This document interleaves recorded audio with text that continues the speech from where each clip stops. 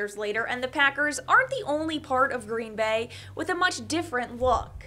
Uh, I look back to when I campaigned in 2002, I just really felt the city needed a strong downtown, that that was the heart of the community.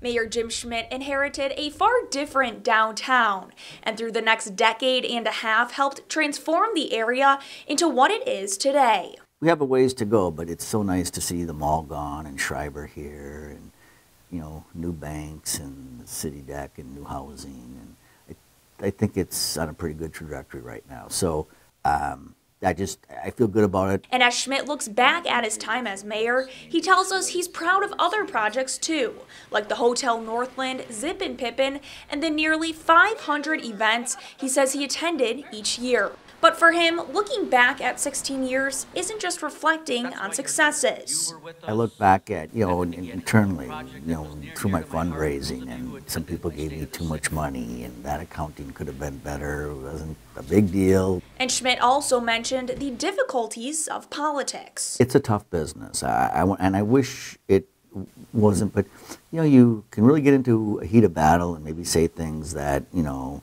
and you really wish you wouldn't have said. But as he now leaves to his next chapter, the longtime Green Bay mayor hopes he's leaving the city in a better place than he found it. I'm very proud of what I've done. I've given, you know, give myself an A for effort. You know, I've tried, made some mistakes, but you know, you work long enough and work hard enough, you're going to make some mistakes, but nothing that um, I feel bad about or that you know I, I I can't redo it anyway. I'm not a shoulda, coulda, woulda person, but you know, I like where I'm at. I feel good about myself and the city, and I think that's what's really important.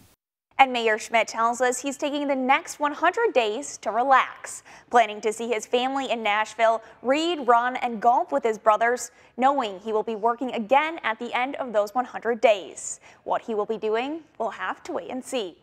Keeping you connected, Juliana Falk, NBC 26. Schmitt does say whatever he ends up doing, it will be right here in Green Bay and it will benefit the city.